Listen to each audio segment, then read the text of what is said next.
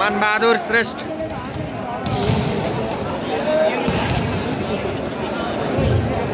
Thank सुना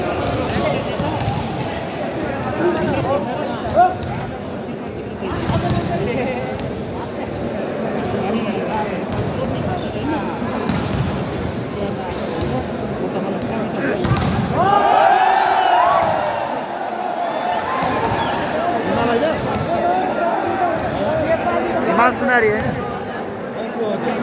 Ni malo.